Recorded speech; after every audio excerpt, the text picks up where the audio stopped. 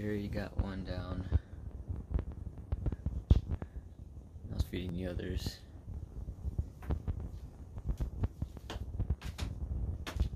So I wasn't able to record it.